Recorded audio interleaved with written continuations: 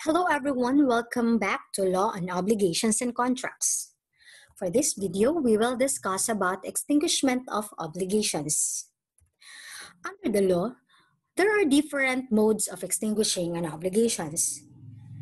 Under Article 1231, obligations are extinguished, number one, by payment or performance, number two, by the loss of the thing due, number three, by the condonation or remission of the debt. Number four, by the confusion or merger of the rights of creditor and debtor. Number five, by compensation. Number six, by novation. Other causes of extinguishment of obligations such as annulment, rescission, fulfillment of a resolutory condition, and prescription are governed elsewhere in this code. So the first six that uh, we have enumerated is called as the primary modes of extinguishing obligations. And the second paragraph refers to the secondary mode of extinguishing an obligations. So there are other causes pa of extinguishing obligations. And what are those? Number one, death of a party in case of an obligation requiring personal service. Number two, mutual desistance or withdrawal. Number three, arrival of the resolutory period. Number four, compromise. Number five, impossibility of fulfillment. And lastly, the happening of a fortuitous event. So we will start first with payment or performance. So what is payment? Under Article 1232, payment means not only the delivery of money, but also the performance in any other manner of an obligation. What is the meaning of payment? In ordinary parlance, payment refers only to the delivery of money. However, as a legal mode of extinguishing an obligation, payment has a much wider meaning.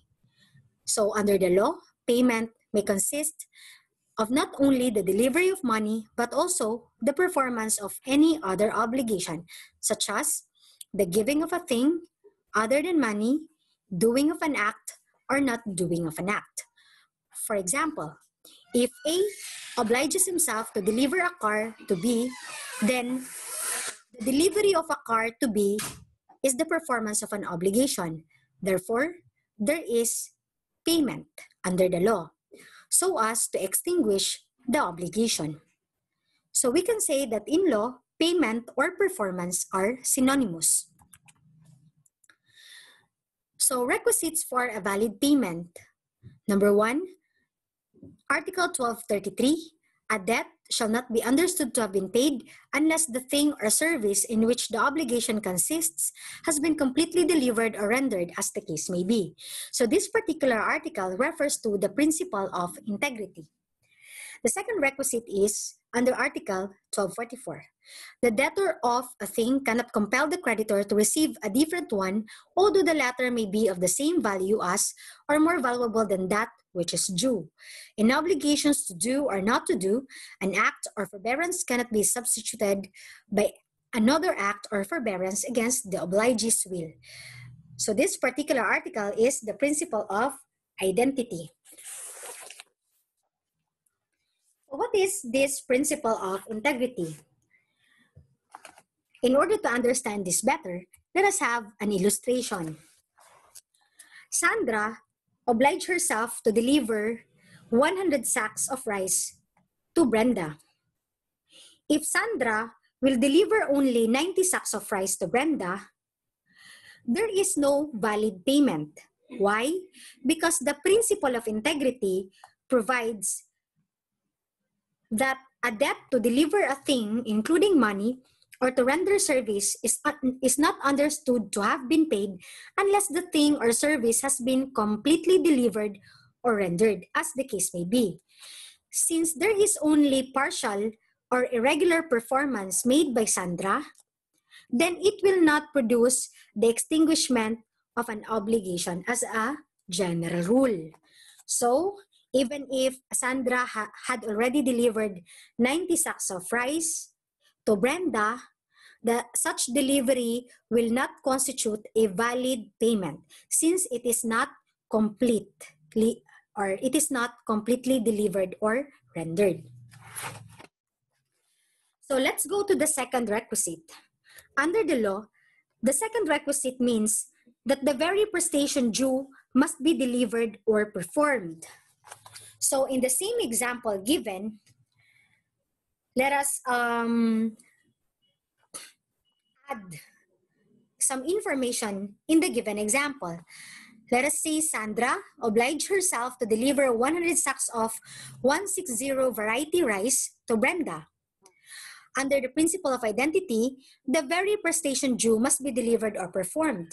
In the given example, the very prestation due is the 160 variety of rice with 100 sacks quantity.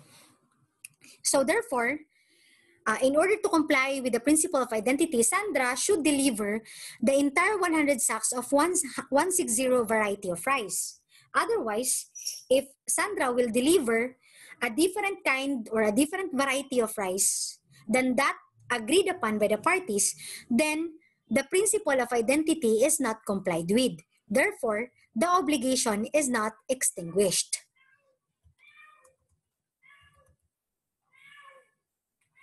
So, you already know the requisites for a valid payment so as to extinguish the obligation. Again, the first one is the principle of integrity, which requires that the performance of the obligation is complete. And the second one is the principle of identity, which requires that the very prestation due must be delivered or performed. So, let's go to the exceptions to the rule. Under the law, the general rule is that a debt shall not be understood to have been paid unless the thing or service in which the obligation consists has been completely delivered or rendered as the case may be. So meaning to say, uh, there should be complete delivery of the thing that is subject of the obligation. But that is only a general rule. There are exceptions to the rule. And those exceptions can be found under Article 1234 and Article 1235. And what are those?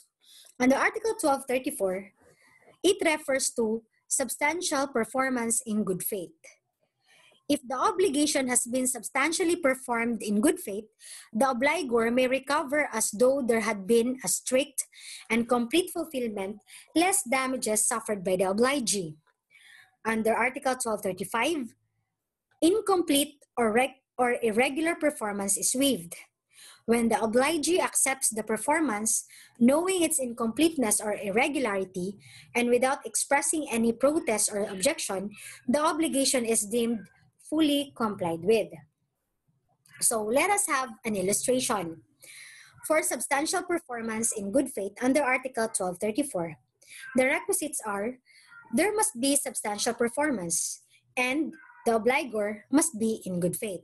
For example, Sandra obliges herself to deliver 500 bags of cement to Brenda. However, despite diligent efforts to on the part of Sandra, she was able to deliver only 400 bags because of cement shortage. Take note that Sandra wants to comply with her obligation to deliver the entire 500 bags, but she could not do so for reasons beyond her control.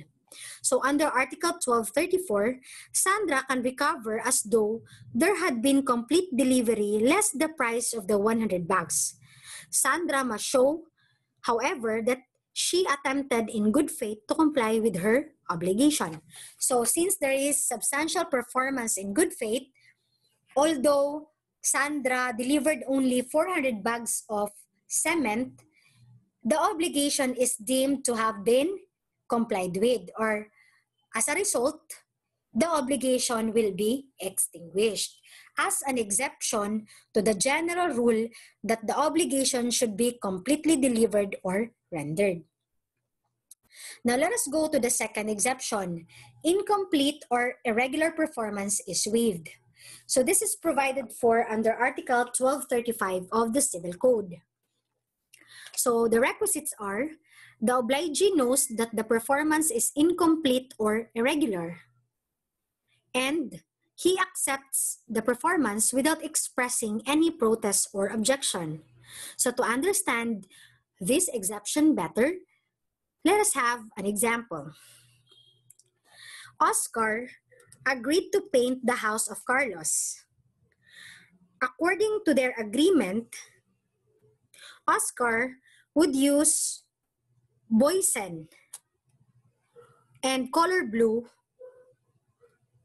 in painting the house of Carlos. However, instead of painting a color blue and using the Boysen brand, Oscar painted white using the brand Davis. So again, in the obligation, Oscar obliges himself or agreed to paint the house of Carlos with color blue using the brand of Boysen. But instead of following the obligation or instead of complying with the obligation, Oscar painted white using the brand of Davis. So let us say, for example, when Carlos learned that Oscar painted white using the brand of Davis on his house, he accepted the performance without expressing any protest or objection. Meaning to say, hindi siya nagreklamo sa ginawa ni Oscar. So, under Article 1235, when the obligee accepts the performance, knowing its incompleteness or irregularity, and without expressing any protest or objection, the obligation is deemed fully complied with. Therefore, the obligation is extinguished.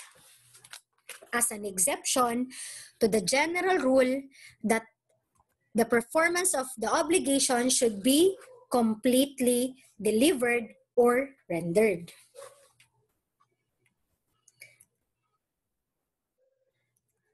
So let us go to the other topics under payment or performance. So we have uh, four topics here. Number one is who shall pay the obligation. So this uh, pertains to the person liable to pay the obligation. Second is to whom payment shall be made. So, kanino ka dapat magbayad ng uh, yung utang or mag-perform ng obligation.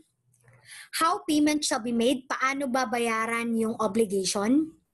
At place of payment. So, where is the place of payment? So, saan ba uh, yung utang or yung obligation babayaran? So, let us uh, discuss them one by one. So who shall pay the obligation? Under Article 1236, the following persons may pay the obligation and for which the creditor is bound to accept payment. Number one, the debtor. So, of course, uh, since uh, it is the debtor who uh, oblige himself know, to perform the obligation, so primarily, he is the person uh, liable to pay the obligation. Second, any person who has interest in the obligation. For example, a guarantor. So, if a person, though he is not the debtor in the obligation, if he has an interest in the obligation, then he can pay the entire obligation. And for which the creditor is bound to accept payment. Meaning to say, the creditor cannot um, refuse to accept payment from a person who has an interest in the obligation. Third, a third person who has no interest in the obligation when there is stipulation that he can make payment. So in short, even if the person does not have an interest in the obligation but he is authorized to pay the obligation, then uh, the creditor is bound to accept payment from the third person. So under Article 1239, in obligations to give, payment made by one who does not have the free disposal of the thing due and capacity to alienate it shall not be valid without prejudice to the provisions of Article 1427 under the title on natural obligation. So, what are the uh, the the principle provided for under Article 1239? So, the principle are or the principles are free disposal of the thing due and capacity to alienate. Meaning to say, the person paying the obligation uh, um, uh, it means to say rather that the thing to be delivered must not be subject to any claim or lien or encumbrance of a third person. Meaning to say, the thing is not subject to encumbrance or claim or lien by any other person. It is free, no? It is free to be disposed. Or and secondly, capacity to alienate. It means that the person has the capacity to enter into contracts.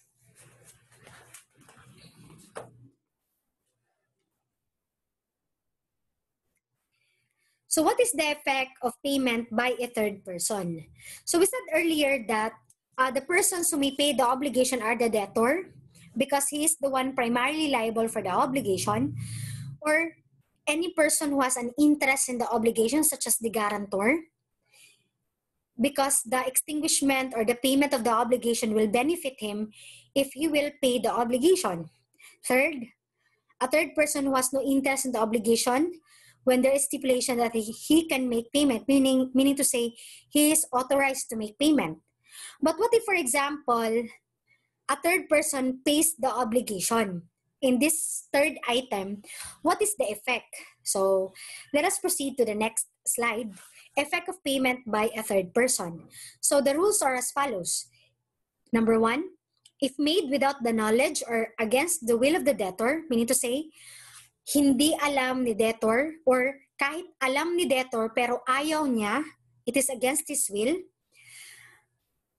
the effect is that the payer, the third person, can recover from the debtor only insofar as the payment has been beneficial to the latter, or we call it the right of reimbursement. However, the second rule is if made with the knowledge of the debtor, kapag alam ni debtor then the payer shall have the rights of reimbursement and subrogation. That is, to recover what he has paid and to acquire all the rights of the creditor. So aside from the right of reimbursement, the third person will also acquire the right of subrogation. So in order to understand uh, these provisions better, let us have an example. Sandra owes Brenda the sum of 1,000 pesos. If Candy, a stranger to the obligation or a third person, offers to pay Brenda, Brenda may or may not accept the offer of payment. Why? Because Candy is a is a third person to the obligation. And it does not also provide that Candy has the authority to make payment. So therefore, let us not presume that particular fact. No? So, so meaning to say, since Candy is a stranger or a third person, and it appears in the problem that she is not authorized to make payment, then Brenda cannot be bound to accept the offer of payment. Because let, let's go back to the principle. Who are those persons who can pay the obligation and for which the creditor is bound to accept payment? Di ba sabi natin, yung first, yung debtor, kasi siya yung primarily liable. Second is any person who has interest in the obligation, such as the guarantor. And third, a third person, although he has no interest in the obligation, but if he has the authority to make payment, then the creditor is bound to accept payment. So let us go back to the example. In the given example, it does not appear or it does not say that Candy has the authority to make payment to Brenda. Therefore, Brenda cannot be compelled to accept the payment of Candy. But suppose Brenda accepts. Let us say, tinanggap ni Brenda yung payment ni Candy. Ano ngayon yung right ni Candy? So the right of Candy to recover depends upon whether the payment is with or without knowledge or consent of Sandra. So, if the payment is without the knowledge or consent of Sandra,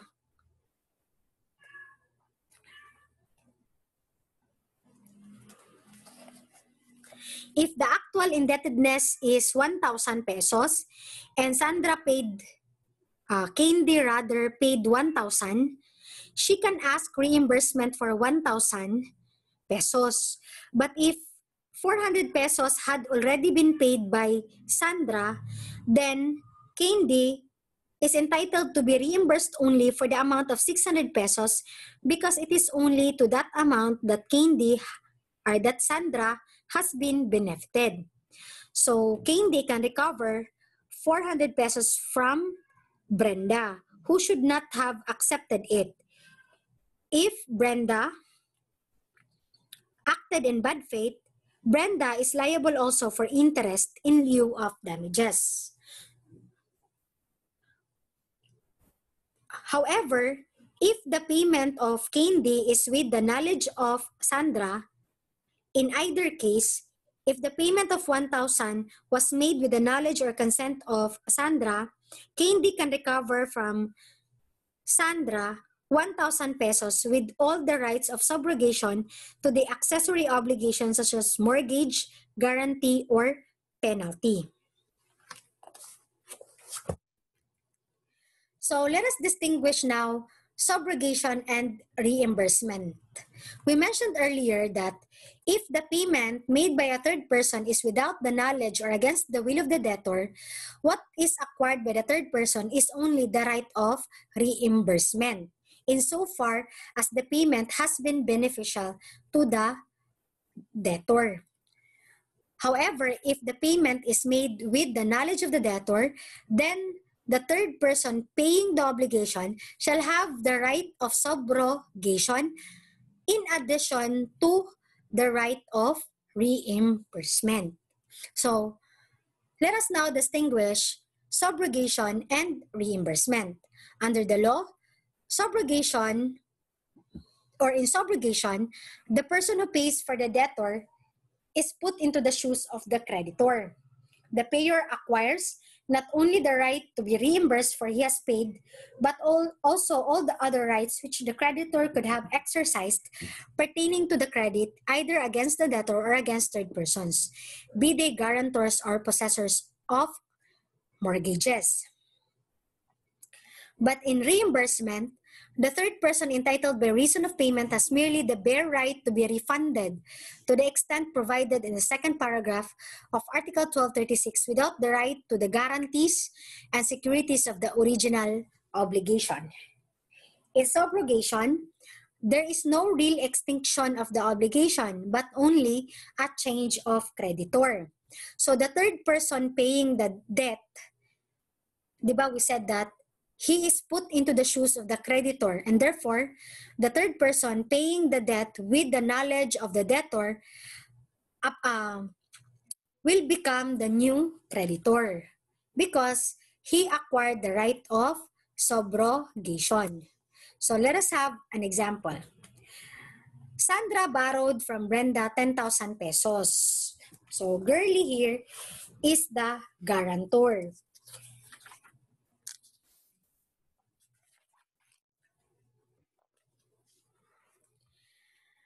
So let's take these scenarios. Number one, what if, for example, Candy paid uh, Brenda 10,000 pesos without knowledge or consent of Sandra? So what is the effect? In this case, Candy can claim reimbursement from Sandra for the whole amount of 10,000 pesos inasmuch as Sandra was benefited up to that amount. If Sandra cannot pay Candy, the latter cannot proceed against Girly, the guarantor, even if Brenda is willing because having paid without the consent of Sandra, Candy is not entitled to subrogation. But let us say the payment made by Candy to Brenda is with the knowledge and consent of Sandra. What is the effect? If the payment was with the express or tacit approval of Sandra, Candy would be entitled not merely to full reimbursement, but also to subrogation. So let us say, for example, the obligation of Sandra is secured by a mortgage of a land owned by Sandra.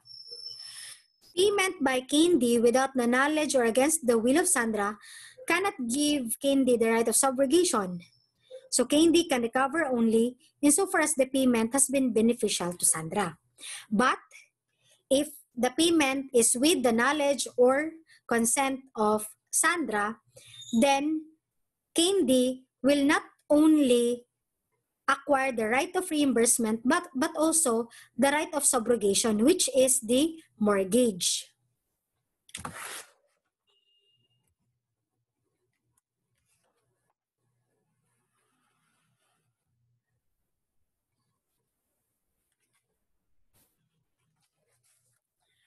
So let's go to payment by a third person who does not intend to be reimbursed. Article 1238 provides that payment made by a third person who does not intend to be reimbursed by the debtor is deemed to be a donation, which requires the debtor's consent. But the payment is in any case valid as to the creditor who has accepted it. Article 1238 embodies the idea that no one should be compelled to accept the generosity of another. If the paying third person does not intend to be reimbursed, the payment is deemed a donation which requires the debtor's consent to be valid. However, if the creditor accepts the payment, it shall be valid as to him and the payer, although the debtor did not give his consent to the donation. So let us have an example. Sandra owes Brenda the sum of 10,000 pesos. Without the intention of being reimbursed, ayan, nandiyan na naman si Candy. Candy paid Sandra's obligation. But Candy has no intention to be reimbursed. Sandra had previously accepted Candy's generosity. So, sabi ni Sandra, okay, sige, okay ako dyan. Binayaran ni Candy yung aking utang. So in this case, Sandra is not liable to Candy and his obligation is extinguished. But what if, for example, Sandra did not give her consent to the donation? Although,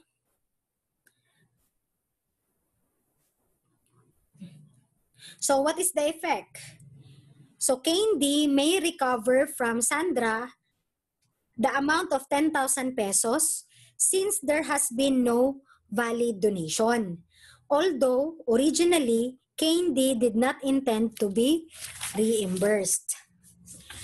Nevertheless, the obligation of Sandra to Brenda is extinguished because the payment is valid as to Brenda, who has accepted it.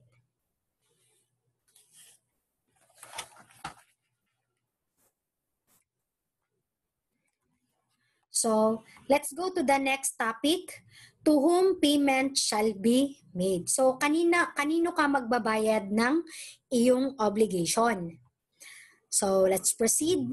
Under Article 1240, payment shall be made to the person in whose favor the obligation has been constituted or his successor in interest or any person authorized to receive it. So, let us dissect this particular provision, payment shall be made to, number one, the creditor or obligee, meaning to say, the person in whose favor the obligation has been constituted.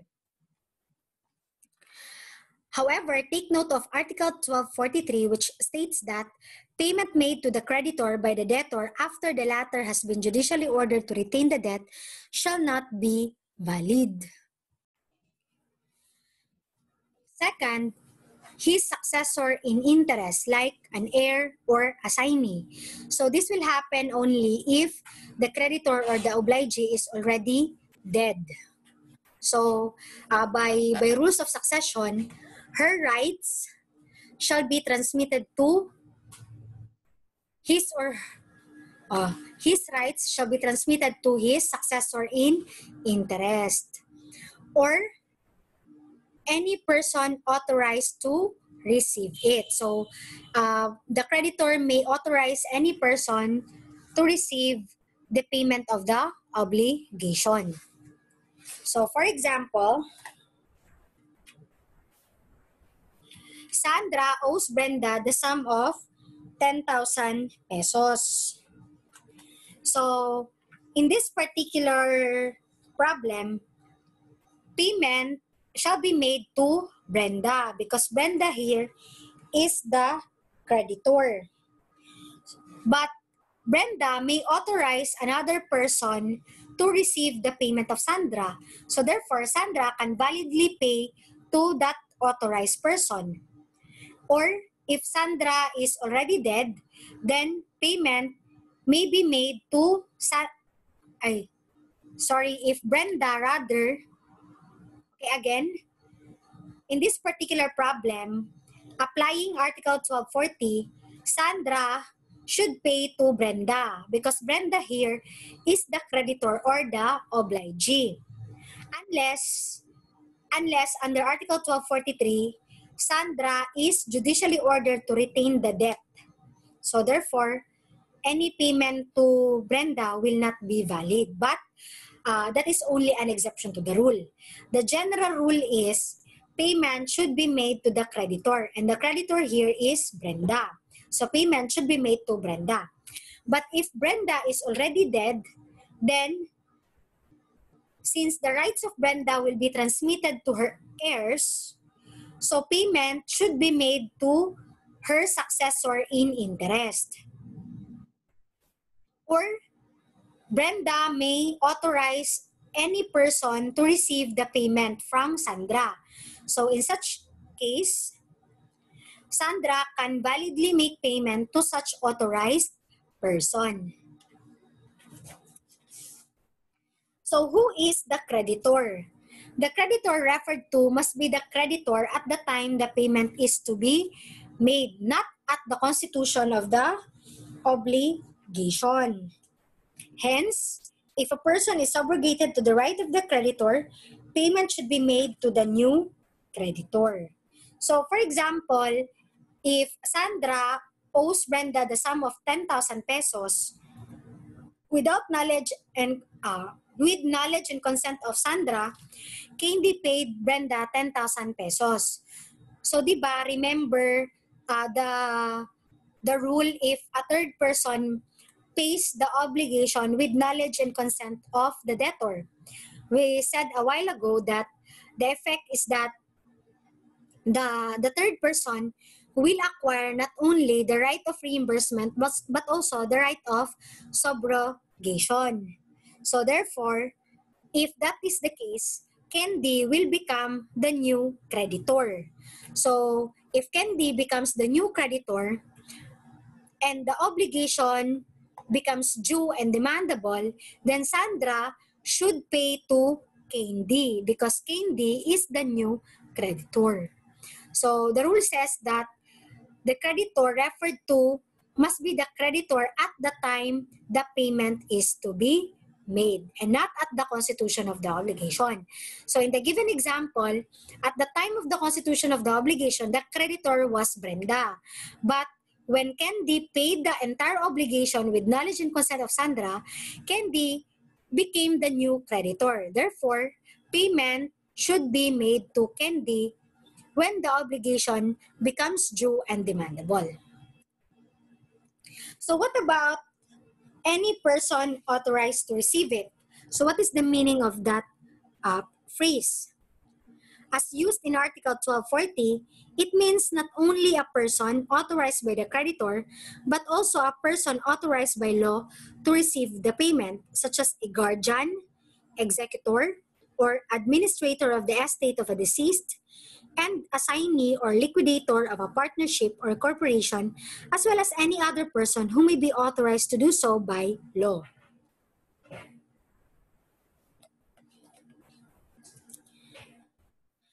So what if, for example, the payment was made to an incapacitated person? So what is the effect? Under Article 1241, payment to a person who is incapacitated to administer his property shall be valid if he has kept the thing delivered or insofar as the payment has been beneficial to him. Payment made to a third person shall also be valid insofar as it has redounded to the benefit of the creditor such benefit to the creditor need not be proved in the following cases. Number one, if after the payment, the third person acquires the creditor's rights. Number two, if the creditor ratifies the payment to the third person. Number three, if by the creditor's conduct, the debtor has been led to believe that the third person had authority to receive payment. So let us have an example. Sandra delivers 1,000 pesos to Brenda, who is a minor under guardianship, in payment of a debt. So, binayaran ni Sandra si Brenda ng 1,000 pesos. Si Brenda ay isang minor under guardianship. So, for example, Brenda loses 700 pesos of the money in gambling or due to negligence or ignorance. So, in this case, the payment should be considered as made only to the extent of 300 pesos.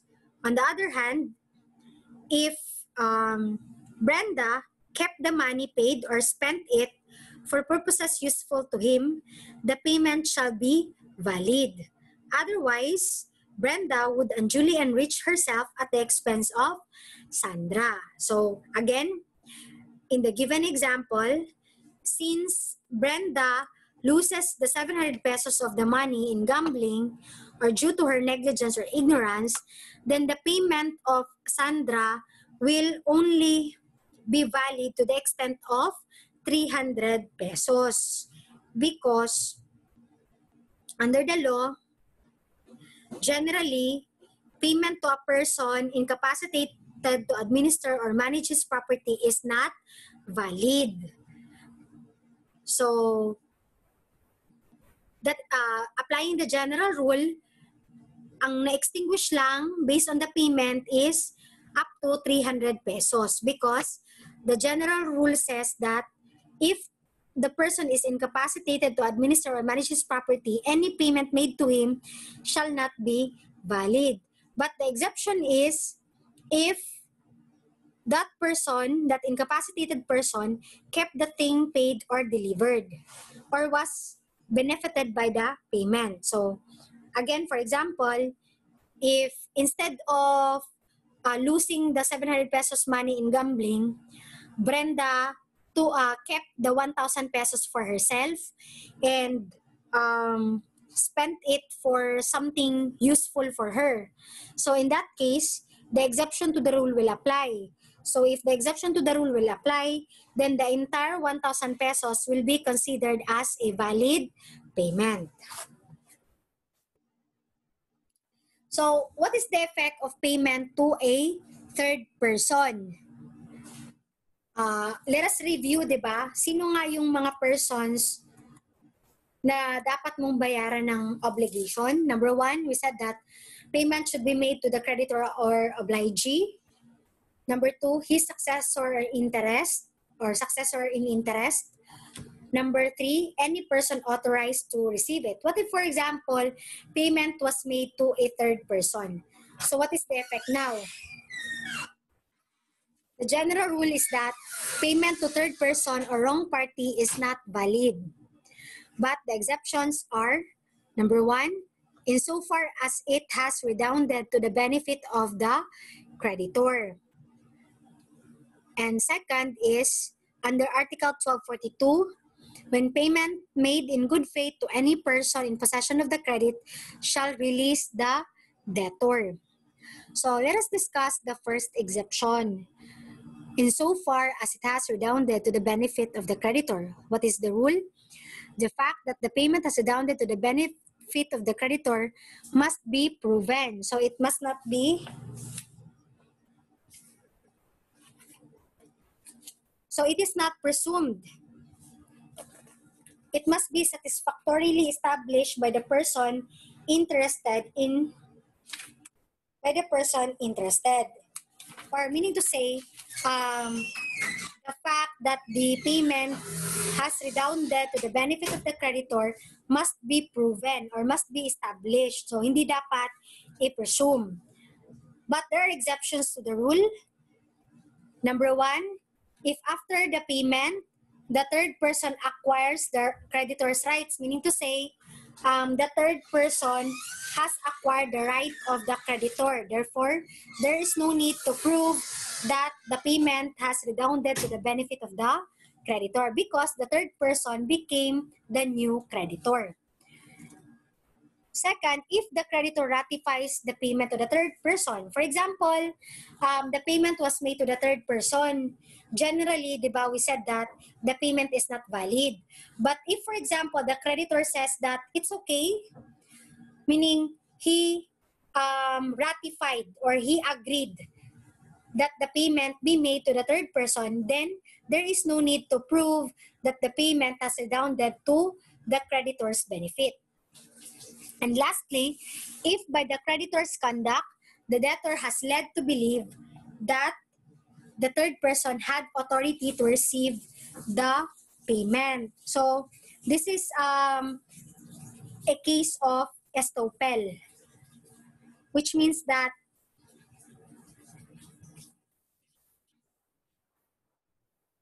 the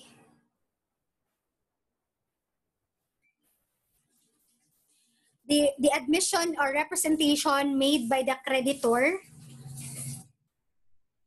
is rendered conclusive upon the person making it and cannot be denied or disproved as against the person relying thereon which means that if uh, by uh, through the act of the creditor the debtor has been led to believe that the third person had authority to receive the payment then uh, the creditor cannot anymore deny or disprove that that such third person had no authority to receive the payment. So let us say, for example, uh, D is indebted to C in the amount of 1,000 pesos.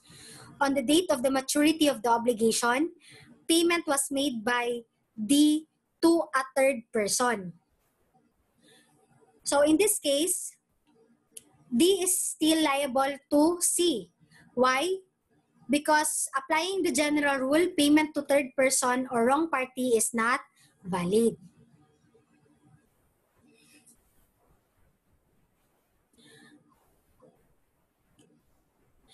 If T or the third person delivered 700 pesos to C, the payment by D is valid only to the extent of 700 pesos.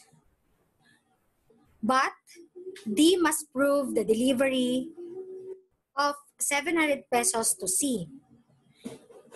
Such proof, however, is not necessary if after payment, the third person acquired the rights of C against D, or if C has ratified or subsequently consented to the payment of the third person, or if before payment, D has been led to believe by C's conduct or fault that the third person had authority to receive the payment, even if the third person had, in fact, no such authority. So let's go to the next exception under Article 1242. This article gives another instance when there is valid payment to a third person.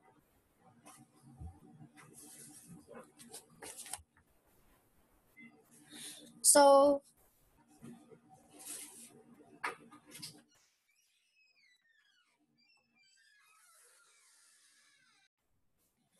take note here that the possession, okay, the term possession referred to under the provision of Article 1242 is possession of the credit itself. yung utang mismo, and not merely of the document or instrument evidencing the credit. Hence, mere possession of the instrument does not entitle the holder to payment, nor does payment release the debtor. Furthermore, the payer must act in good faith, that is, in the honest belief that he is making a valid payment and that the payee is the owner of the credit. And good faith here is presumed. So let us have an example. Let us say, for example, I am indebted to you in the amount of 1,000 pesos. And as uh, as an evidence of such indebtedness, we executed a promissory note and I signed the promissory note. So sabi ko sa promissory note na I promise to pay you 1,000 pesos. However, ikaw, you lost the promissory note. Nawala mo yung promissory note. And that promissory note was later found by a third person. So, so ngayon, yung third person ang may hawak ng promissory note. Si third person ngayon pumunta sa akin. Sabi niya, Madam, bayaran mo ako ng iyong utang na nandito sa promissory note. Kasi sabi mo, you promised to pay 1,000 pesos. Ako ngayon ang may hawak ng promissory notes. Dapat magbayad ka sa akin. So what is uh, the rule under Article 1242? If I will pay the amount of 1,000 pesos to the third person in possession of the promissory note, the law says that the payment made is not valid because the third person is the possessor merely of the document evidencing the credit and not of the credit itself. Although nasa kanya yung promissory note, pero hindi naman talaga siya yung owner ng credit. Hindi siya yung creditor. And therefore, sabi ng batas, dapat yung possession is yung sa credit, hindi yung instrument. So, any payment made to a third person in possession of the instrument only and not of the credit, then will not it, such payment will not be valid so as to extinguish the obligation. But what if, for example, instead of losing the promissory note, ikaw na creditor, inassign mo. Meaning to say, binenta mo yung promissory note sa third person. Kumbaga, inassign mo yung credit mo sa third person. So, binayaran ka ngayon ni third person, let us say, binayaran ka niya ng 1,000 pesos. So, si third person na ngayon ang nagmamay-ari ng, ng utang, ng credit itself. And aside from possessing the credit itself, he is now in possession of the promissory note, which is the instrument evidencing the credit. So, what if ngayon, si third person, pumunta siya sa akin. Sabi niya, Madam, bayaran mo ako ngayon ng utang mo sa promissory note kasi ako na ngayon ang may-ari ng utang na ito. Kasi inassign sa akin or binenta sa akin ito ng creditor. So, since the third person is in possession of the credit itself and not merely of the document or instrument evidencing the credit, any payment to him shall be valid and therefore it shall release the debtor and extinguish the obligation. As an exception to the general rule that payment to third person or wrong party is not valid. So, let's go back to the topics. How payment shall be made. So, paano ba babayaran yung obligation? So, let's proceed.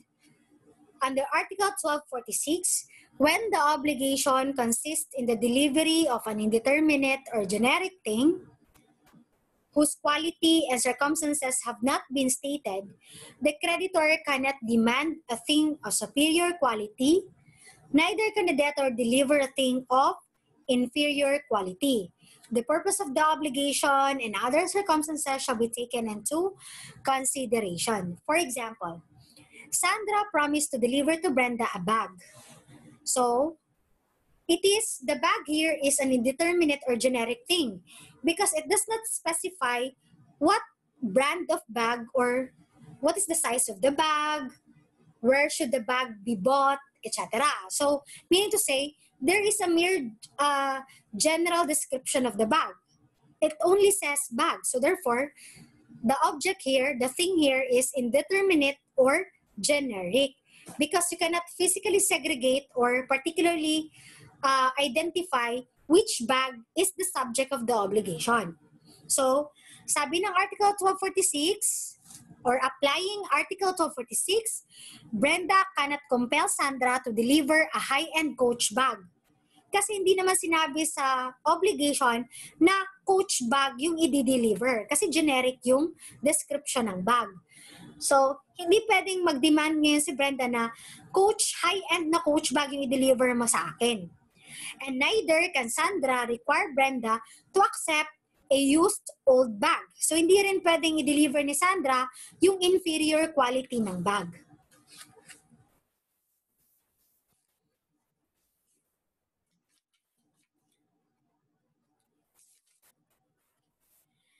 So, under Article 1247, unless it is otherwise stipulated, the extrajudicial expenses required by the payment shall be for the account of the debtor. With regard to judicial costs, the rules of court shall govern. So, so yung magbabayad pala ng extrajudicial expenses for the payment of the debt, ang debtor pala yung mag-shoulder ng expenses na yan. So performance of the obligation should be complete under Article 1248 unless there is an express stipulation to that effect. The creditor cannot be compelled partially to receive the prestations in which the obligation consists. Neither may the debtor be required to make partial payments. However, when the debt is in part liquidated and in part unliquidated, the creditor may demand and the debtor may effect the payment of the former without waiting for the liquidation of the latter. So, under Article 1248, you cannot compel the, the debtor to make partial payment of the obligation and neither can the creditor be compelled to accept partial payment. Kasi nga, di ba, uh, the principle of um, integrity says that uh, the performance of the obligation or the payment performance of the obligation must be complete. Dapat kompleto, walang partial payment. Okay, so so yun yung general rule. So let us have an example. Sandra is indebted to Brenda for 5,000 pesos due today. So applying Article 1248, Sandra cannot compel Brenda to receive 4,000 in partial payment of the obligation. So hindi pwedeng sabihin ni Sandra na, Brenda, 4,000 lang yung babayaran ko. Tanggapin mo to. Hindi niya pwedeng pilitin si Brenda. And neither Brenda can uh, and neither can Brenda require Sandra to pay only 4,000 pesos unless there is an agreement to the contrary. So, unless na lang um, si Brenda mag-agree siya na 4,000 lang partial payment, okay lang yon. Pero kung ayaw niya, hindi mo siya pwedeng pilitin. Si Sandra naman, hindi pwedeng pilitin ni Brenda na 4,000 lang yung ibabayad. Baka maraming pera, maraming pera si Sandra, no? May marami siyang pera. So, mas maganda yung bayaran niya, yung inter-obligation. So, Brenda cannot say to Sandra na 4,000 lang yung bayaran mo. Kasi nga, you, the creditor cannot um, cannot require the debtor to make partial payments kasi the performance or the payment of the obligation should be complete. Unless na lang, if the debt is in part liquidated, in part unliquidated.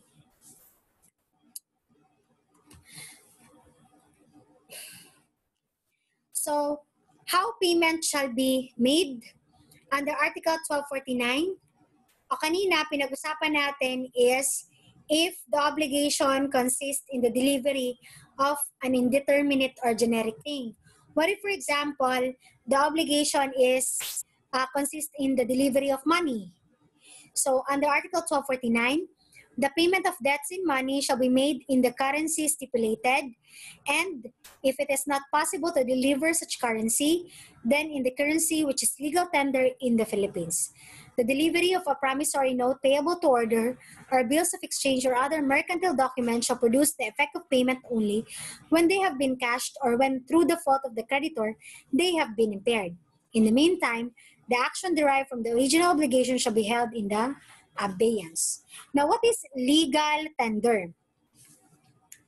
Legal tender is the currency which is which, if offered by the debtor in the right amount, the creditor must accept in payment of a debt in money. So, simply, simply put, when you say legal tender, it is the currency which can be uh, accepted as a mode of exchange. So, for example, if you will buy a T-shirt in the mall, so you should uh, pay. Uh, you should uh, pay something in exchange, right? And in paying something in exchange, you should use uh, that currency which can be acceptable as a mode of exchange. So in the Philippines, the currency which is acceptable as a mode of exchange is the Philippine peso. So therefore, if you will buy a T-shirt in the mall, you cannot uh, you cannot exchange a a grocery item, or you cannot deliver a grocery item in exchange because because a grocery item cannot be accepted as a mode of exchange. So, and, and it is not a currency. So therefore, when you say legal tender, yan yung currency na acceptable in a in a commercial transaction as a mode of exchange. Yung tatanggapin nila para makabili ka ng something. But if a currency cannot be accepted as a mode of exchange, then that particular currency is not considered as a legal tender.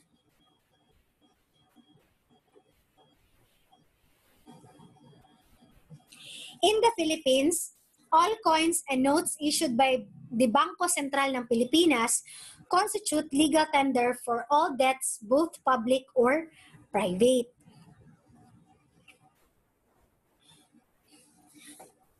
So, what if, for example, the, the payment uh, was made by delivering a promissory note?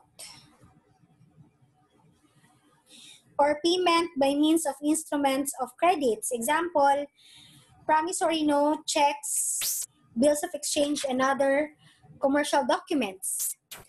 Generally, if you will deliver instruments of credit such as promissory note, checks, bills, bills of exchange, and other commercial documents, the creditor cannot be compelled to accept them. Bakit?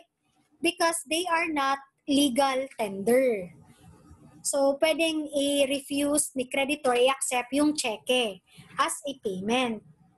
But, if for, for example, the creditor will uh, accept the payment of a check, then the law says that it will not produce the effect of payment until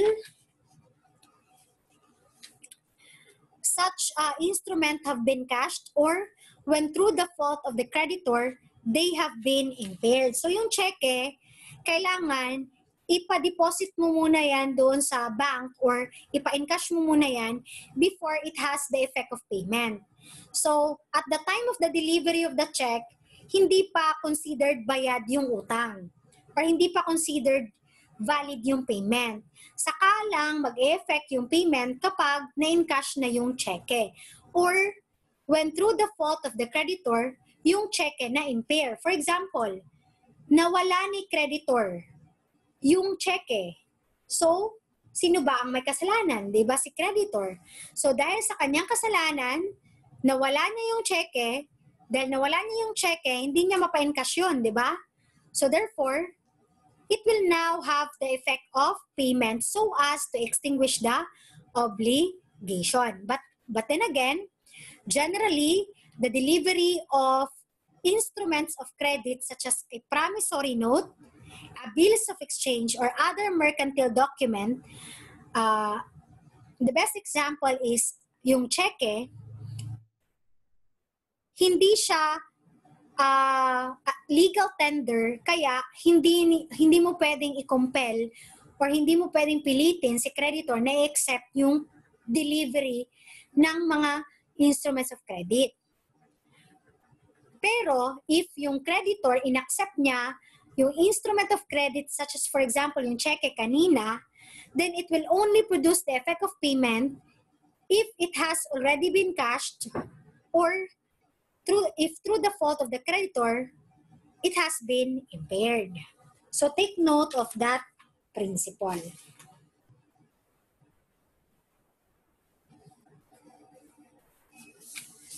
So, uh, let's go back to the topics. Ayan, place of payment. So, place of payment under Article 1251, payment shall be made in the place designated in the obligation. There being no express stipulation, and if the undertaking is to deliver a determinate thing, the payment shall be made wherever the thing might be at the moment the obligation was constituted. In any other case, the place of payment shall be the domicile of the debtor.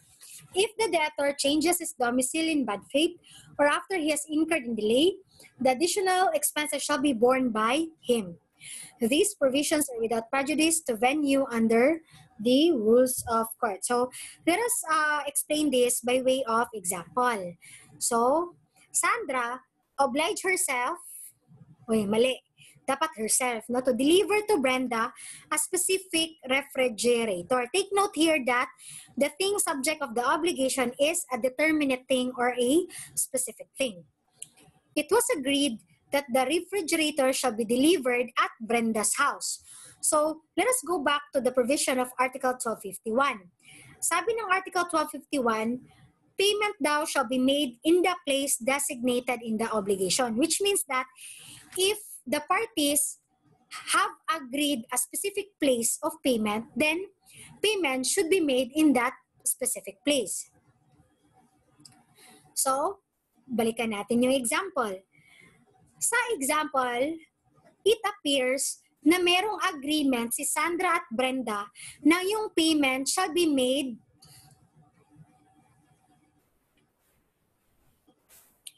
at Brenda's house. Or the performance of the obligation should be made at Brenda's house. So therefore, since there is a place designated in the obligation, then payment or performance of the obligation should be made in that place. So since nag-agree si Sandra at Brenda na yung yung refrigerator, yung specific refrigerator i-deliver sa bahay ni Brenda, so dapat doon dapat i-deliver ni Sandra yung specific refrigerator. What if for example, hindi na pagkasunduan ni Sandra at Brenda kung saan i-deliver yung specific refrigerator. Balikan natin yung Article 1251. There being no express stipulation, and if the undertaking is to deliver a determinate thing, the payment shall be made wherever the thing might be at the moment the obligation was constituted. Which means that kung daw yung subject matter ng obligation is specific or determinate thing, ang pagbabayad ng utang or pag-deliver ng obligation shall be made kung saan yung thing at the moment the obligation was constituted. So let us say for example, yung specific refrigerator is um, placed in the house of Sandra. Nasa bahay ni Sandra yung specific refrigerator. And let us say, for example, hindi nag-agree si Sandra at Brenda as to the place of payment. So ano yung sagot? Saan ba i-deliver yung refrigerator? So applying Article 1251 second paragraph, the place or the payment shall be made wherever the thing might be at the moment the obligation was constituted. So, meaning to say,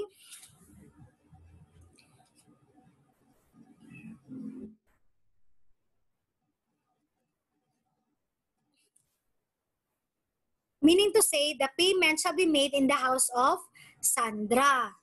So, it appears therefore na si Brenda pala yung kukuha ng specific refrigerator sa bahay ni Sandra. Kasi nga, yung specific refrigerator ay nasa bahay ni Sandra at the moment the obligation was constituted. What if, for example, hindi siya specific refrigerator? Let us say, generic thing siya or indeterminate thing. Ano yung rule? Balik tayo sa Article 1251. In any other case, the place of payment shall be the domicile of the debtor. Sa bahay daw ng debtor. So, in the given example, kunyari, yung, yung thing is a generic thing or indeterminate refrigerator, then the place of payment is in the domicile of the debtor who is Sandra. No? So in this case, since Sandra is a debtor, the place of payment is at Sandra's domicile or at Sandra's residence. So let's go to the special forms of payment. General rule.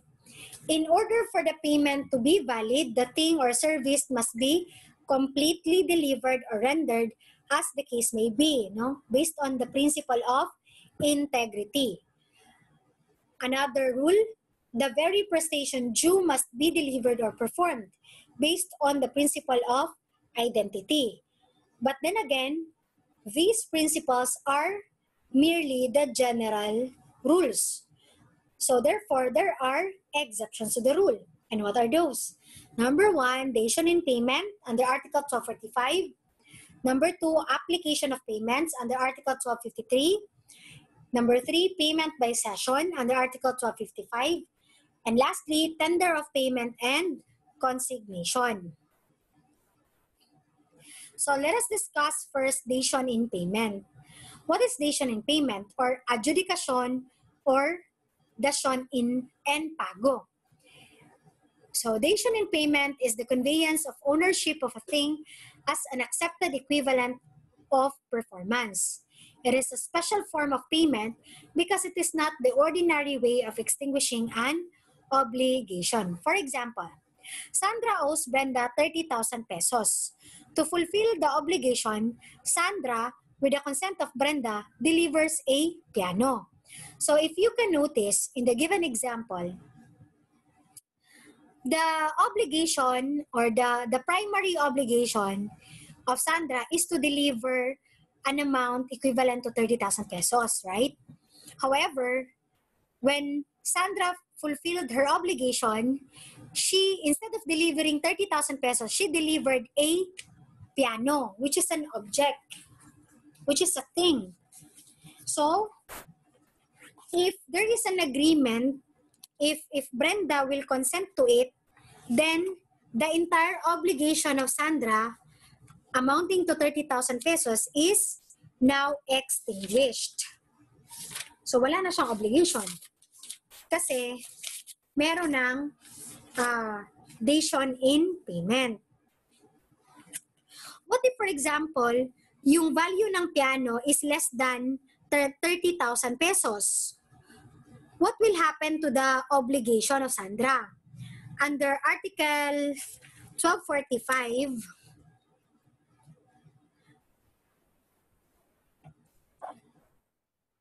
Article 1245, the conveyance of ownership of a thing it will be accepted as an equivalent performance of the obligation. So, we need to say, even if the value of the piano is less than 30,000, it will be considered as an accepted equivalent of the performance of the obligation. And therefore, Brenda can no longer demand from Sandra the difference between the value of the piano and the 30,000 pesos because it is as if that the piano will be the equivalent performance of the obligation. So, so yun ang mangyayari. Kahit na bababa yung value ng piano kesa sa 30,000 pesos, if nag-consent naman si Brenda, considered na na-extinguish na yung entire obligation. Hindi na pwedeng uh, mag-demand si Brenda for the difference in value. So that is the effect of dation in payment. Yan. Application of payments. So ano itong application of payments?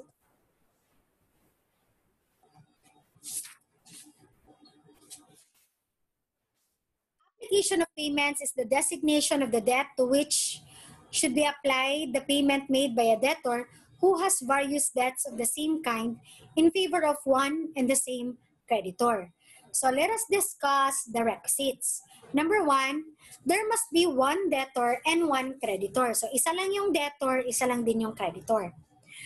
Number two, there must be two or more debts. So hindi lang isa yung utang, kundi marami. Two or more. Number three, the debts must be of the same kind. Meaning to say, kung pera yung utang, pera lahat kung kung for example, rice yung object ng utang, edi rice lahat. Okay? Dapat same kind. Fourth, the debts to which payment made by the debtor has been applied must be due. So dapat nag-due na yung utang. And lastly, the payment made must not be sufficient to cover all the debts. Kasi kapag mababayaran mo naman pala lahat yung utang, no need to apply payment. Yung application of payment, nag-a-apply lang yan kapag yung binayad mo is kulang pa para bayaran mo lahat ng utang mo sa creditor. So, uh, dahil kulang yung payment mo, kailangan mong mamili which among the debts yung babayaran mo. So, ano yung rules on application of payments? As to which debt is paid, the rules are as follows. Number one, the debtor has the first choice. He must indicate at the time of making payment and not afterwards which particular debt is being paid. If, in making use of his right, the debtor applied the payment to a debt, he cannot later claim that it should be applied to another debt. So, anong ibig sabihin nito? So, kapag nagbayad ngayon sa debtor ng kanyang utang at kulang yung kanyang pagbayad, pambayad sa lahat ng utang niya kay creditor, pwede siya ang mamili kung anong utang yung uunahin niya. Okay? So, yan yung first na rule. At kapag nakapili na siya kung which debt is to be paid, then he can no longer change it, no? And say that, ay, itong isang utang ko na lang yung bayaran. Hindi na pwede. Kasi under number two, the right to make the application once exercised is irrevocable unless the creditor consents to the change. Meaning to say, kapag nakapili ka na kung ano yung utang yung una mong babayaran, hindi mo na yon pwedeng i-change. Kasi nga, sabi ng batas, irrevocable siya. Third, if the debtor does not apply payment, so kung hindi siya namili kung anong utang yung unahin niya, then the creditor may make the designation by specifying in the receipt which debt is being paid. So, ang creditor ngayon ang mamimili kung anong utang yung uunahin na ma-extinguish. At i-specify niya yan sa resibo kung ano yung utang na in-apply sa payment ni debtor. Fourth, if the creditor has not also made the application, or if the application is not valid. So, meaning to say, uh, si creditor, hindi siya pumili kung ano yung utang na babayaran at kung nag-apply man siya ng payment, hindi siya valid, then yung debt which is most onerous to the debtor among those due shall be deemed to have been satisfied. Meaning to say, kung ano yung pinakamabigat na utang among the debts due yun ang dapat unang bayaran. And lastly, if the debts due are of the same nature and burdens, meaning to say, lahat sila pare-pareho lang yung nature and burden. Walang pinaka-onerous sa kanila. So, ano ang application of payment? The payment shall be applied to all of them proportionately. So, just remember the the words no which are emphasized here. Yung first choice, irrevocable, specifying the receipt, most onerous, and proportionately. so that you can remember how to apply no, the rules on application of payment. So let us have an illustration. Uh, Sandra owes Brenda as follows. So maraming utang si Sandra. Di ba sabi natin in application of payments, there are two or more debts. So number one, yung una niyang utang is 1,500 which is payable on September 5. Second utang, 1,200 pesos payable on September 20. Third niya na utang is a specific transistor radio worth 2,000 to be delivered on September 20. And yung isa pa niyang utang, fourth na utang niya is 1,000 pesos payable on October 15. So, balikan muna natin yung requisites ha. Di ba sabi natin, there must be one debtor and one creditor. So, here in the given example, isa lang yung debtor, isa lang din yung creditor, di ba? Kasi si Sandra lang yung debtor at si Brenda lang yung creditor. There must be two or more debts. Ayan, klaro naman sa problem na apat yung kanyang utang kay Brenda. The debts must be of the same kind. Ay, ito. Medyo meron tayong problema dito kasi yung third niya na utang is a specific transistor radio which is not of the same kind with her other debts, no? The 1,500, 1, 2, and 1,000. So therefore, uh, the rule on application of payment will not apply on the specific transistor radio. Kasi nga, hindi siya same kind with the other uh, obligation. Fourth, the debts to which payment made by the debtor has been applied must be due. Dapat nag-due na yung utang. So, malalaman natin later. And lastly, the payment made must not be sufficient to cover all the debts. So, in the given example, on September 20, Sandra paid 1,500 pesos to Brenda. So, take note that on September 20, ano yung mga utang na nag-due? Di ba, in the given example, ang due na nautang is yung 1,500 tsaka yung 1,200 pesos. Kasi nga, nagbayad siya on September 20. So, therefore, yung utang lang na dapat i-cover or i-cover ng 1,500 pesos na payment ni Sandra is yung utang niya sa September 5 at September 20, which has a total amount of 2,700 pesos. So, ano ngayon ang mangyayari? So, let us use the rules on application of payments.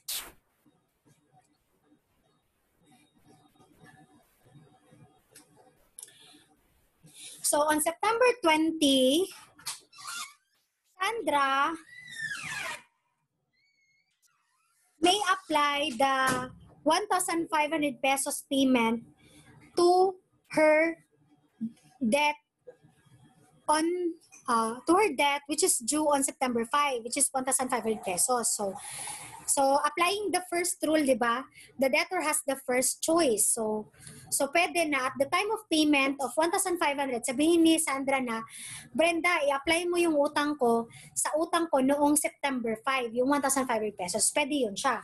Kasi yung first choice is kay debtor. At kailangan i-indicate niya at the time of payment kung ano yung utang na pag-applyan niya sa kanyang payment. Or pwede din na sabihin ni Sandra na yung 1,500 ibayad dapat sa 1,200 na utang niya on September 20. And the remaining balance will be paid to her September 5 obligation. If Brenda will consent to it, no? Kung, kung, kung okay lang kay Brenda.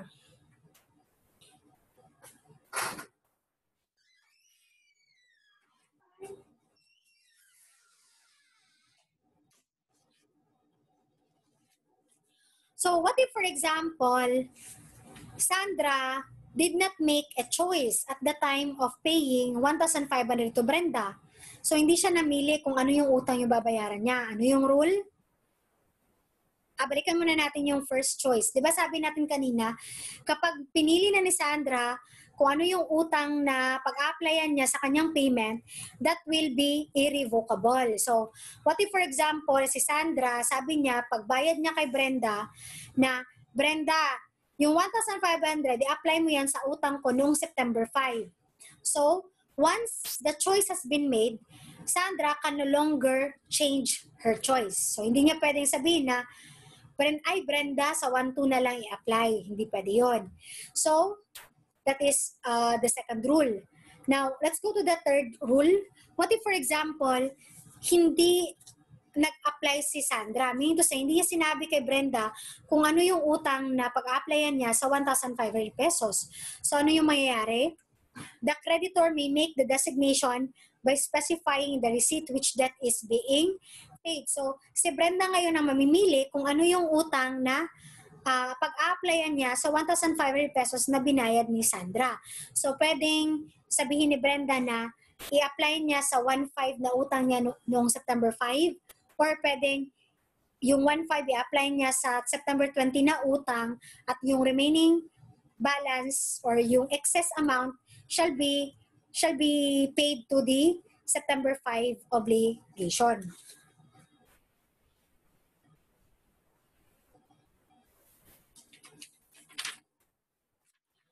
So what if, for example, if the creditor has not also made the application or the application is not valid?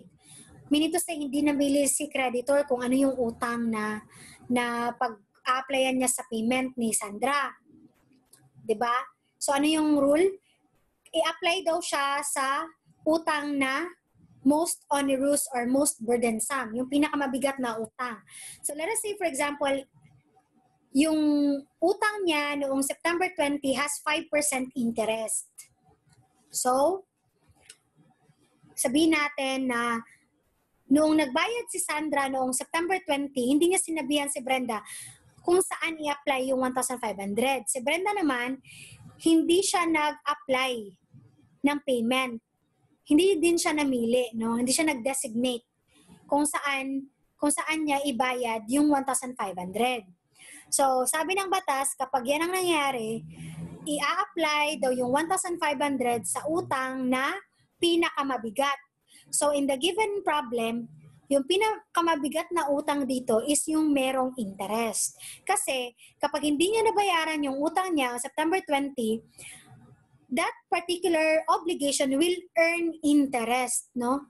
as the time goes by. So, kapag hindi niya nabayaran, lalong mas lalaki yung kanyang utang. And therefore, such uh, obligation is burdensome, no? Or most onerous than the other obligations. So, saan dapat i-apply? So, i-apply dapat yung obligation sa 1,200 pesos on September 20 and the excess amount shall be applied to the September 5 obligation.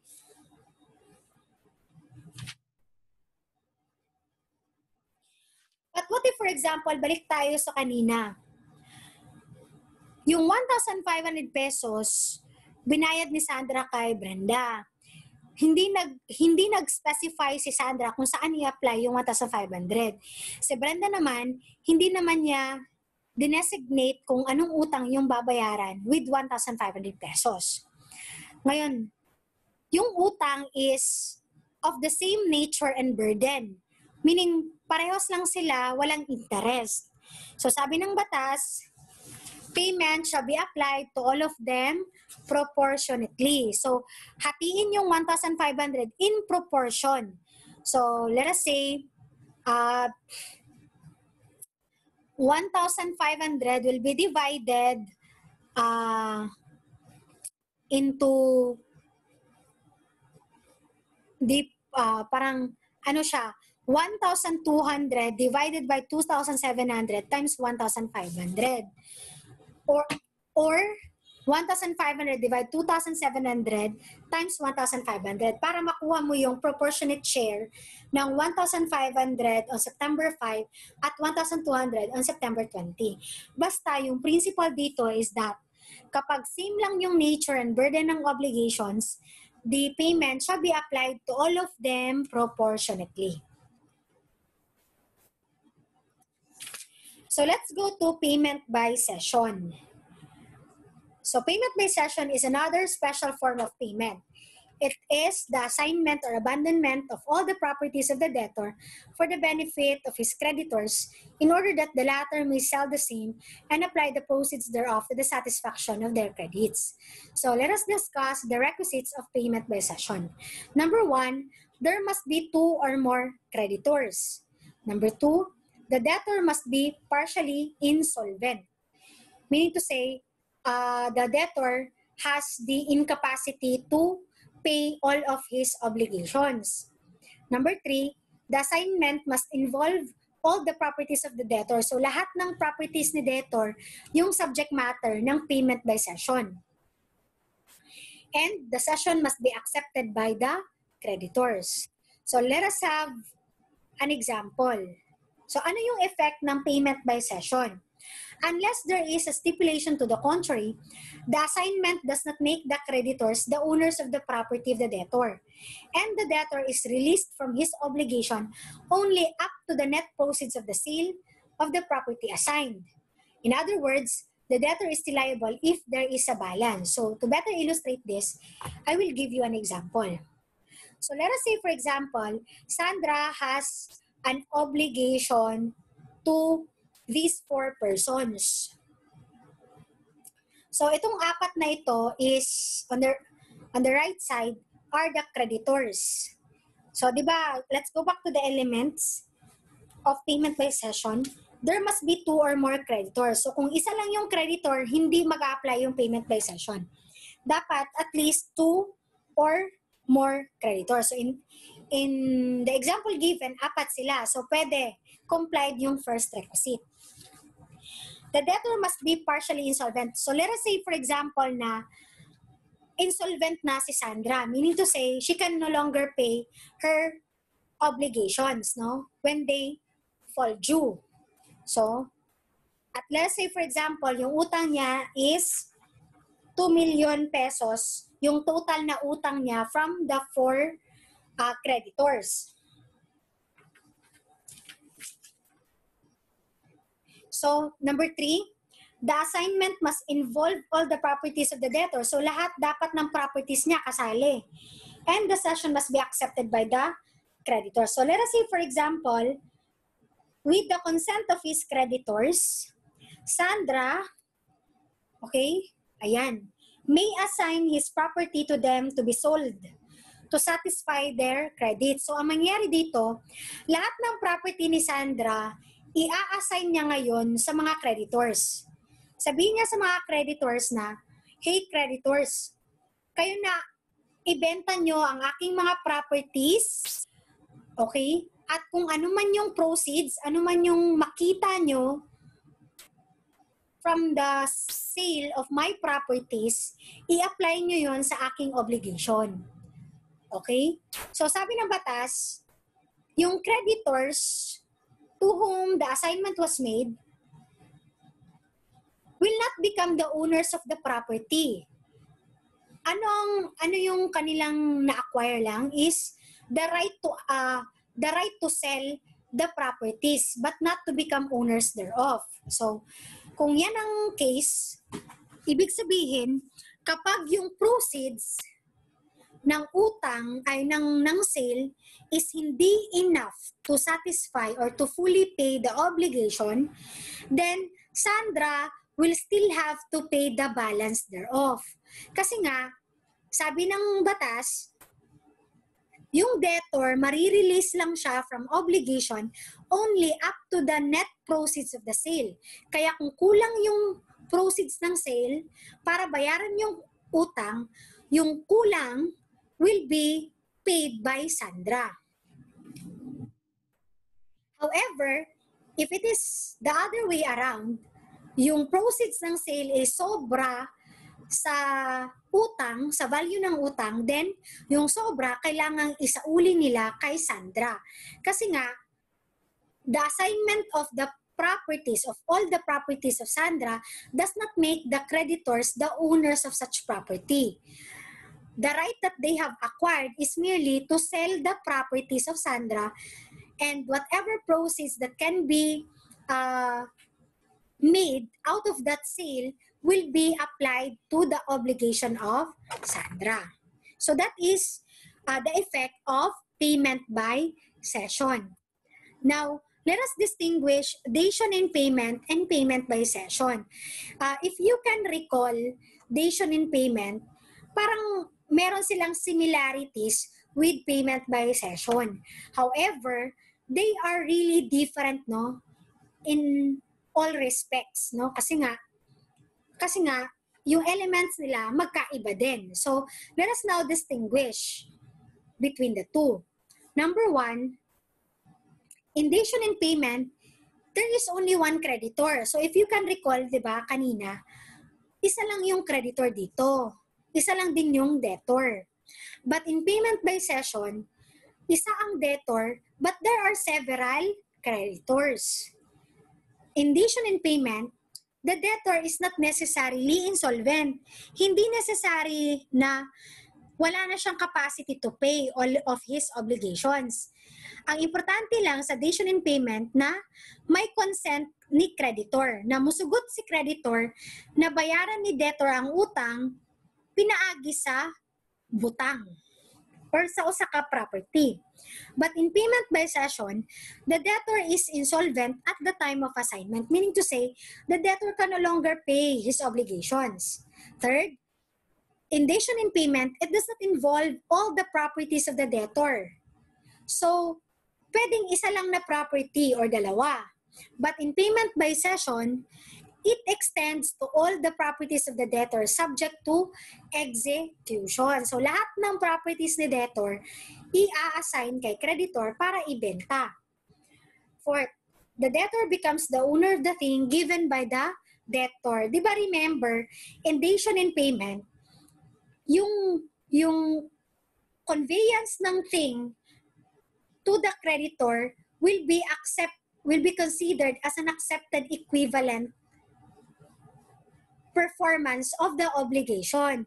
So, even if the value of the thing delivered by the debtor to the creditor through dation in payment is less than the amount of the obligation, the obligation is still entirely extinguished. Kasi nga,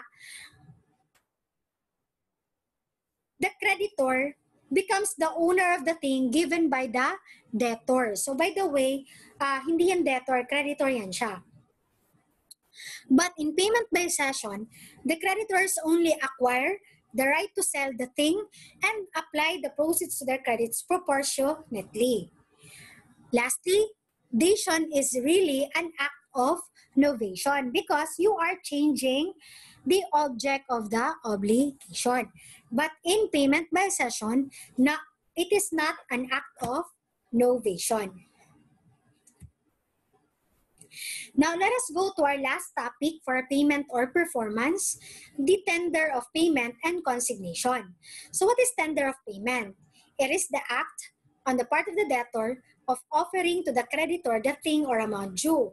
So meaning to say, if when you say tender of payment, uh, it is an act of uh, offering to the creditor that you will now pay the obligation or you will now perform your obligation. On the other hand, consignation is the act of depositing the thing or amount due with the proper court when the creditor does not desire or cannot receive it after complying with the formalities required by the law.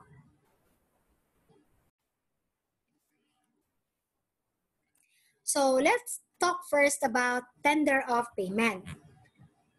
Requirements. Number one, it must comply with the rules on payment or with the terms required by the contract in making such tender. The tender, even if valid, does not by itself produce legal payment unless it is completed by consignation. So after you tender payment of the obligation, you should uh, also complete it by consigning the thing or the amount due to the proper judicial authorities in order to produce legal payment. Second, it must be unconditional and for the whole amount due and in legal tender. Third, it must be actually made. So, so therefore, the manifestation of a mere desire or intention to pay is not enough. The debtor must show present ability to perform by actual offer of the thing or money due. So, what is the general rule here? There must be a valid tender of payment and refusal without justifiable reason by the creditor to accept it before a consignation can be made. So meaning to say, si debtor dapat nag-offer na siya na bayaran niya yung utang and yung offer niya dapat hindi yon inaccept ni creditor without a justifiable reason bago siya mag-perform ng consignation. However, there are exceptions to the general rule. Number one, when the creditor is absent or unknown or does not appear at the place of payment. So obviously, the debtor cannot consign, I, obviously, the debtor cannot make tender of payment kasi nga, wala, absent si creditor or his, uh, his whereabouts is unknown, di ba? So, so he cannot make tender of payment. So, pwede na na diretso na to consignation. Second, when he is incapacitated to receive the payment at the time it is due, meaning to say, yung creditor, wala siyang capacity to receive the payment. So, in order to be prudent enough, the debtor can uh, automatically consign the thing or amount due to the proper judicial authorities without making a tender of payment. Kasi nga, in this particular scenario, tender of payment is useless, no? Kasi incapacitated si creditor to receive the payment. Third, when without just cause, he refuses to give receipt. For example, nagtender na si debtor ng payment pero ayaw magbigay ng creditor ng resibo. So, nawala namang dahilan. So, ibig sabihin, tender of payment is no longer required. So, the debtor can can go to the judicial proper judicial authorities to consign the thing or amount due. Fourth, when two or more persons claim the same right to collect. So, if may dalawa or mahigit sa dalawang tao, yung nag-claim sa payment. So, at yung debtor, hindi niya alam kung kanino siya magbabayad. So, therefore, tender of payment is no longer required. The debtor can consign the thing or the amount due to the proper judicial authorities. And lastly, when the title of the obligation has been lost. Meaning to say, yung creditor, wala na siyang right over the obligation. So therefore, dahil hindi naman alam ni debtor kung sino na ngayon ang may right ng obligation, so no need na to make tender of payment. Pwede na na the debtor will consign the thing or the amount due to the proper judicial authority. So consignation, ano yung requisites? Number one, existence of a valid debt. Second, tender of payment by the debtor and refusal without justifiable reason by the creditor to accept it. Sabi na, yung sinabi natin kanina. Previous notice of consignation to persons interested in the performance of the obligation. In the absence of prior notice to the persons interested in the fulfillment of the obligation, such as guarantors, mortgages, solidary debtors, solidary creditors, the consignation as payment shall be void. So there should be a previous notice no, to all persons interested in the fulfillment of the obligation. Kasi yung effect niya, magiging void yung consignation. The purpose of the notice is to give the creditor a chance to reflect on his previous refusal to accept payment, considering that the expenses of consignation shall be charged against him, and that in case of loss of the thing consigned, he shall bear the risk of loss. So, ang rason daw kung bakit kailangan kang magbigay ng previous notice is para magkaroon ng second thought si creditor. Kasi, kasi previously, nag-refuse siya to accept no, the tender of payment without justifiable reason. Baka ngayon, kung magbigay ka ng notice na i-consign mo na siya, baka magbago yung isip niya at, by, at i-accept na niya yung tender of payment. Fourth, consignation of the thing or sum due. So, meaning to say, you will now deposit the, the thing or the sum due at the disposal of judicial authority.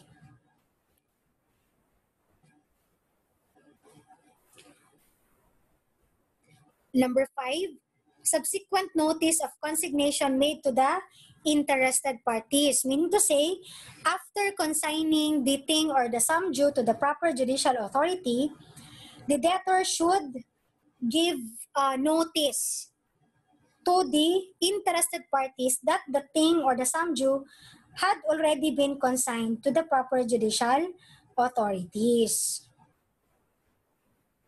So how will you notify them, the interested parties. So you may fulfill it by service of summons no, upon the dependents, defendants together with a copy of the complaint. So the purpose of the second notice is to enable the creditor to withdraw the thing or sum deposited in case he accepts the consignation. So let us illustrate. Sandra owes Brenda a sum of money on the due date of the obligation, Sandra offers to pay the obligation, but Brenda refuses to accept payment without any justifiable reason. So, in this case, Sandra's obligation will not be extinguished until she has made a valid consignation.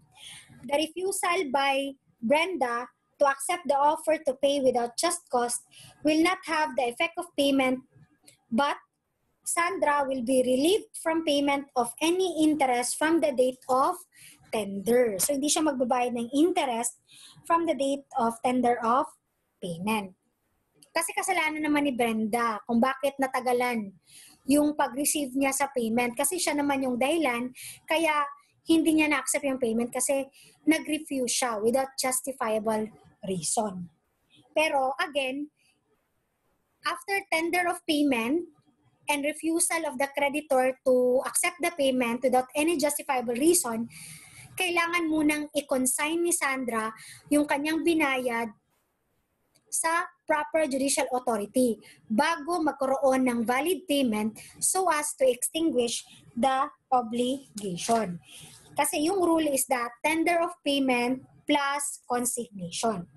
Unless na lang yung case falls under the exceptions that we have mentioned earlier, wherein tender of payment is no longer necessary.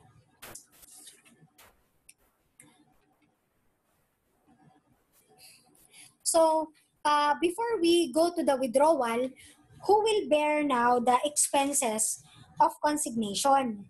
Under Article 1259 of the Civil Code, the expenses of consignation when properly made shall be charged against the creditor. So si creditor ngayon na magbabayad yung nung expenses ng consignation. Ang reason is that kasalanan niya kasi kung bakit kinonsign yung amount due or thing due sa proper judicial authority. Kasi kung tinanggap niya lang yon wala sanang consignation na mangyayari. So let's go to the withdrawal by the debtor of the thing or sum deposited. So this is governed by Article 1260 and Article 1261. So under Article 1260, once the consignation has been duly made, the debtor may ask the judge to order the cancellation of the obligation. Before the creditor has accepted the consignation or before a judicial declaration that the consignation has been properly made, the debtor may withdraw the thing or the sum deposited, allowing the obligation to remain first. So let me explain briefly no, this particular article.